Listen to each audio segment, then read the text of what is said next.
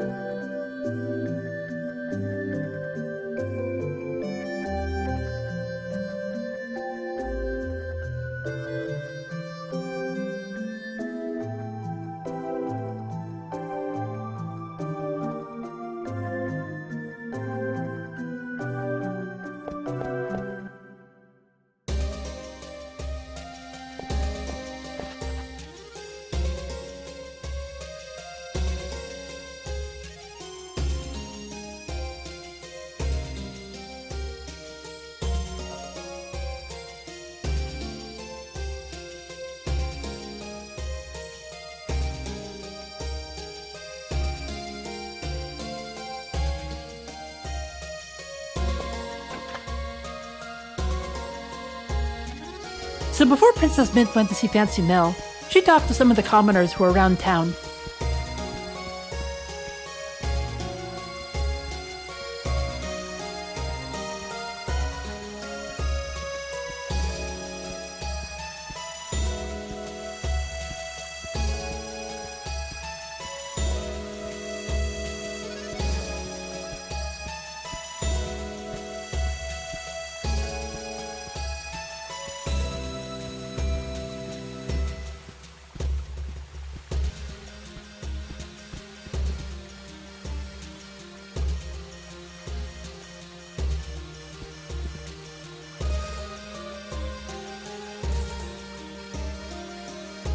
Having had enough of ordinary conversation, she headed off to Fancy Mel's atelier.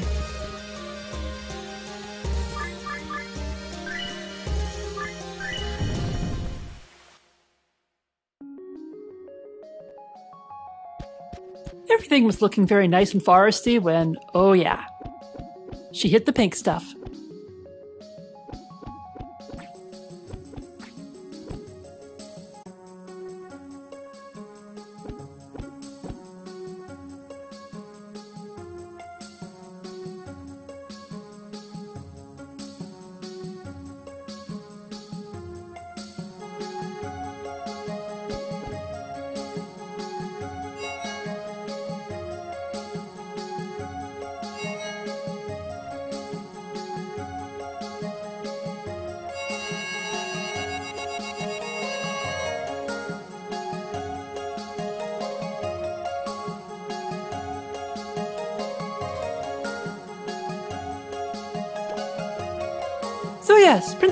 Was required to have some mandatory fun before she met up with Fancy Mel.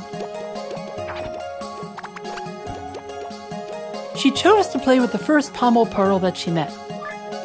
This one promised giant balls. Spoiler the balls would indeed be giant. And there's the giant balls, written on by little shroom people. They would be very annoying later.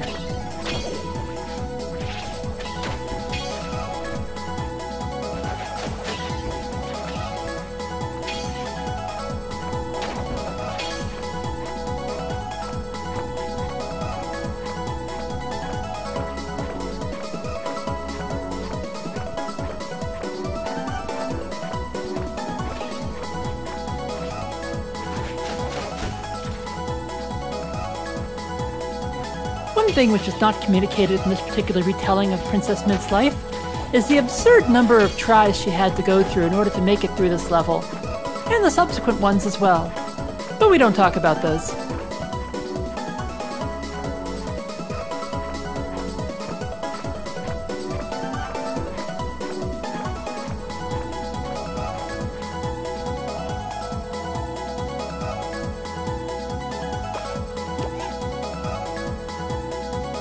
Next up, Princess Mint had to defeat a number of fungies. These are those little mushroom people that were riding the balls earlier. She could only hit them when they were above ground.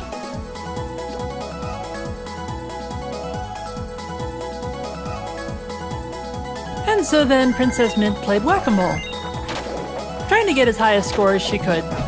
Her targeting, however, made it difficult for her to figure out when she was hitting a mushroom which was under the ground or when one that was walking towards her.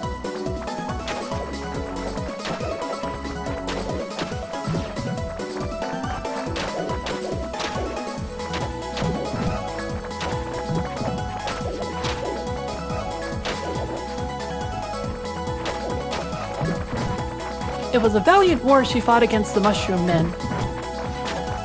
And at the end, she didn't quite make 500, but she did acquire a bronze coin for her efforts.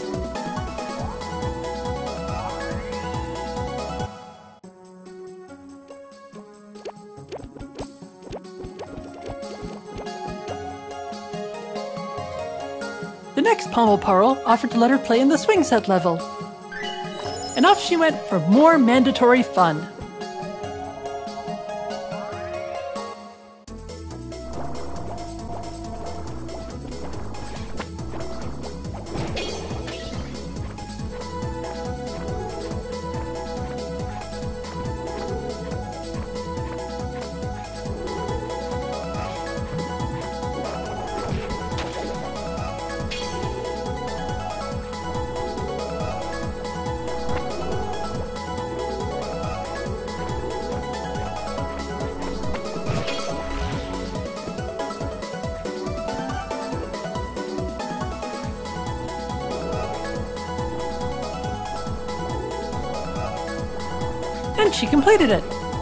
Because of course she did.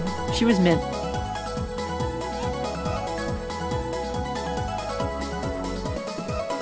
Next was a round of collect the colored balls.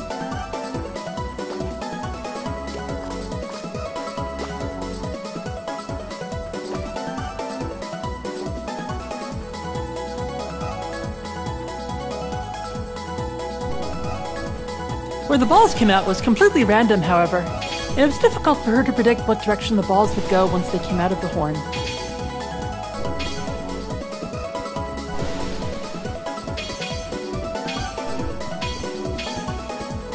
And that sneaky horn, it put out all black balls. That's not very nice, Mr. Horn. Princess Mint vowed to destroy that horn when the revolution came.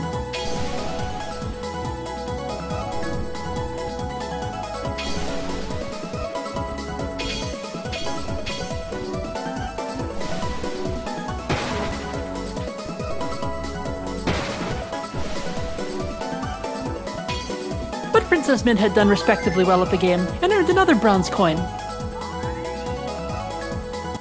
And now, Princess Mint had one final level of mandatory fun to complete.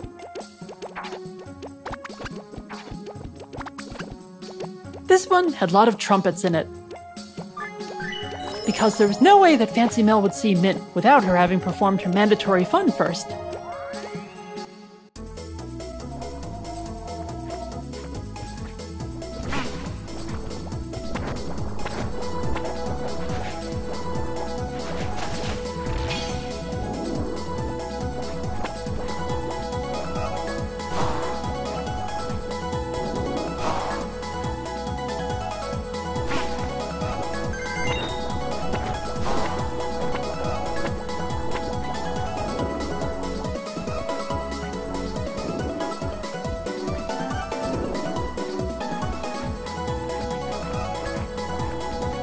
And at last she completed the level. The next minigame she would face was another sort of whack-a-mole, only more like the bonus stages in Shinobi, where ninjas would be ever coming closer to you. And if they ever touched you, you would be defeated.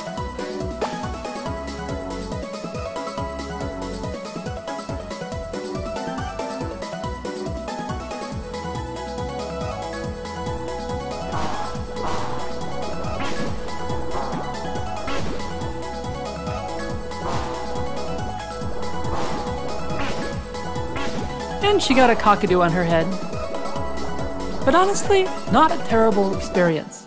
And that's why the official hat of Mintsylvania is shaped like a cockadoo. But now, having participated in mandatory fun, Princess Mint went to see Fancy Mel.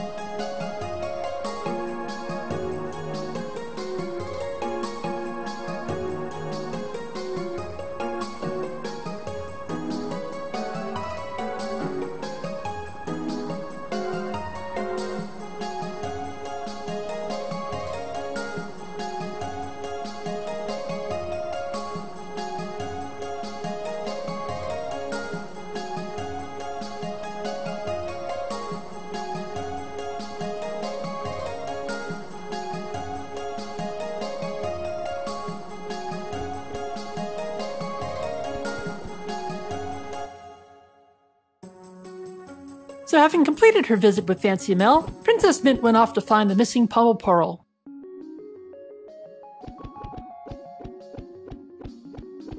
She confirmed that she could run into the background of these levels.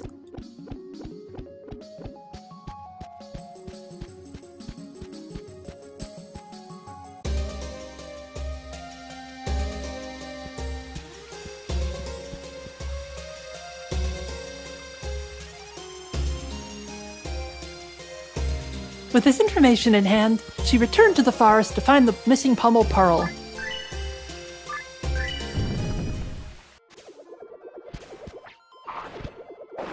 On the way, she noticed her health was low and tried to kill a few monsters for a health potion.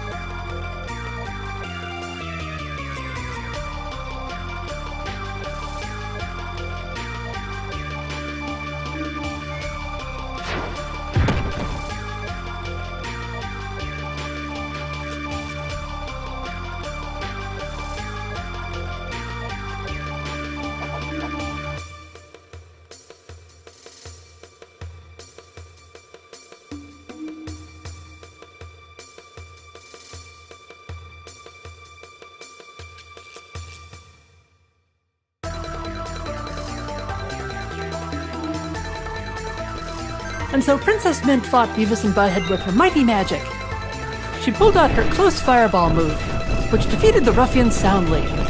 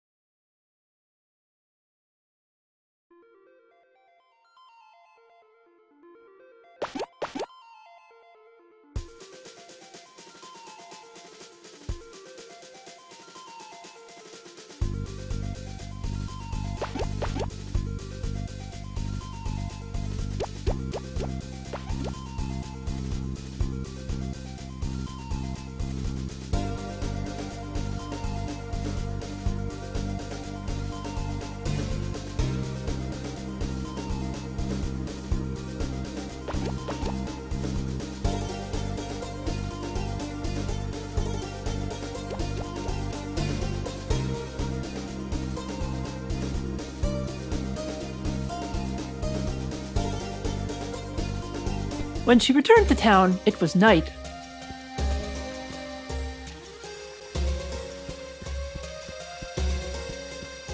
She couldn't stay at the fancy hotel, nor could she sell her monsters at the store.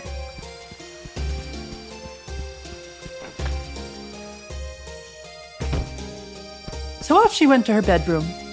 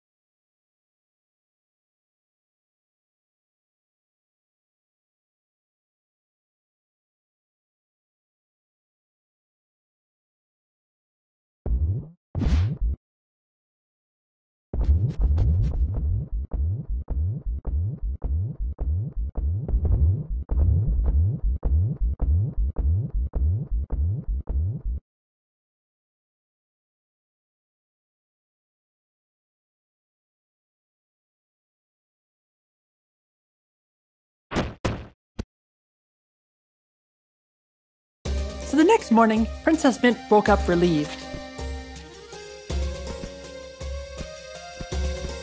She searched her room for money, as she was wont to do, but having found none, she decided to leave. She said goodbye to the innkeeper, who was still on her good side for letting her stay at the place for free.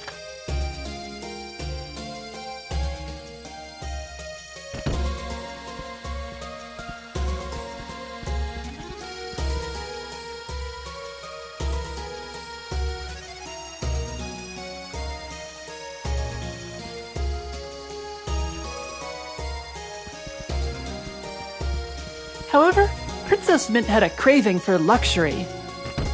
So she went across town to find that hotel.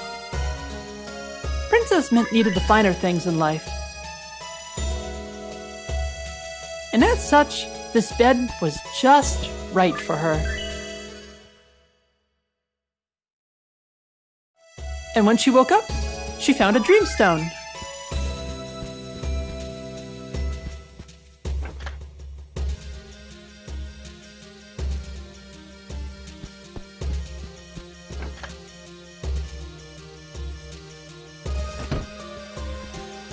Princess Mint went to the store in order to sell her monsters finally.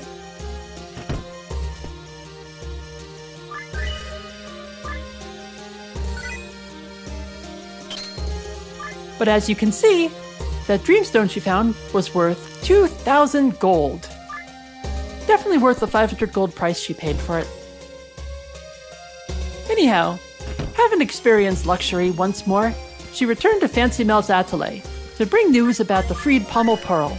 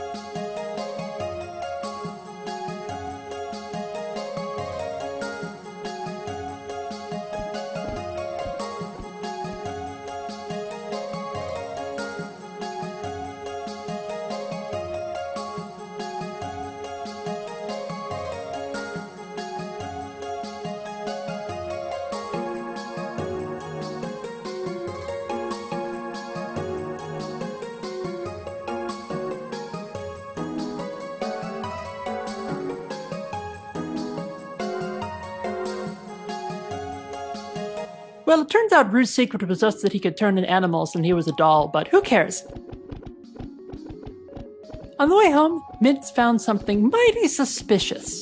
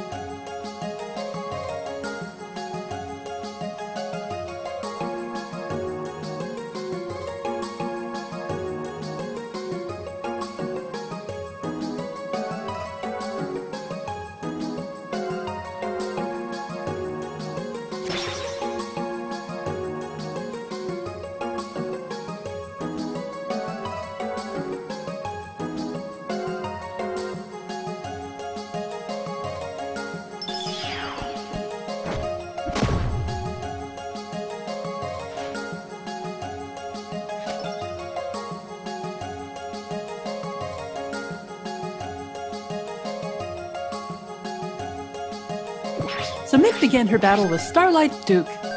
Unlike being the thin white Duke, he was the plump yellow Duke. He was oblivious to attacks while he was walking, but while on the ground, he was vulnerable to little damage. Even though Princess Mint did no damage to him while he was walking, she did gain back a significant amount of mana. And her magic attacks did more damage to him than her mighty rings did.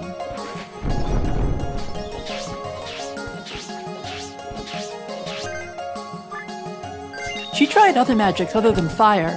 However, they didn't do nearly as much damage as fire did.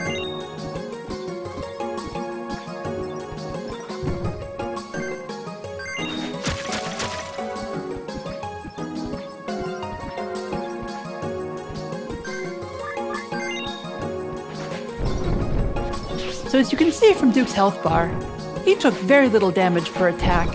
This fight went on way too long.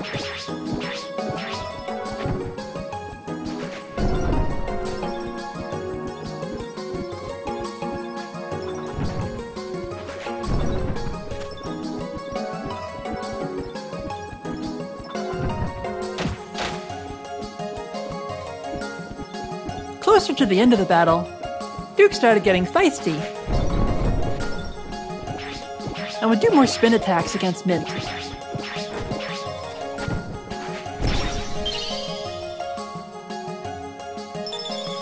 And his final attack was very difficult to dodge.